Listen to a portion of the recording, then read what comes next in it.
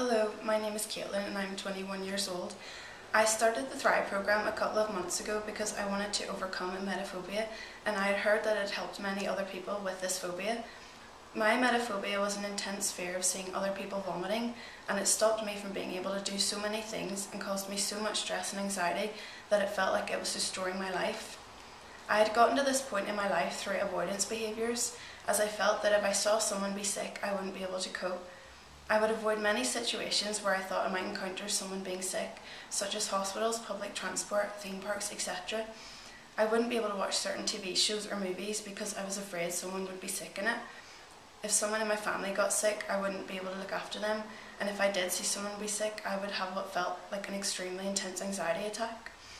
As time went on, it became more impossible to live with this fear, and I was extremely unhappy living with constant feelings of anxiety.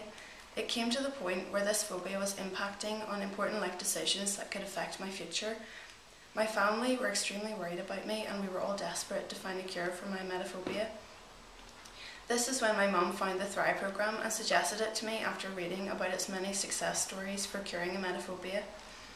In my first consultation with Stevie, I was amazed at how much he was able to tell me about my fear before I had even told him of my experiences of it, and I finally felt hope for overcoming it. Stevie showed me how my, emetophobia wasn't something that was happening to me, but that I was creating the fear myself and that I had the power to overcome it. He also showed me how I can improve other areas in my life and change other negative belief systems, which I didn't even realise were connected to my emetophobia, such as social anxiety. Throughout the, the Thrive program, I did experience some blips where I became anxious in certain situations. However, because I had stopped processing them in such a negative way and criticising myself, I came back from them stronger than before. The most helpful thing I learned during this program was how to give myself credit for things in which I had done well and not put myself down for making mistakes or having a blip.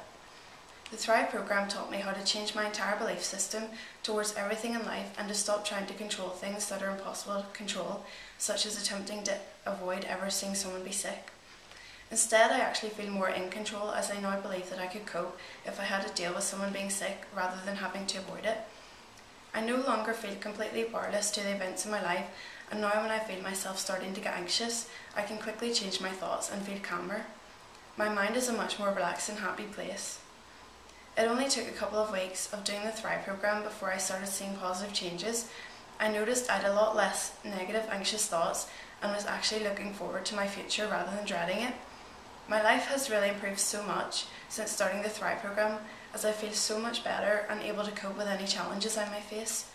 Starting this program is definitely one of the best decisions I have made and I would highly recommend Stevie and the Thrive program to anyone experiencing emetophobia or any other phobias or anxieties as he has really helped me take back control of my life and I'm so grateful for his support.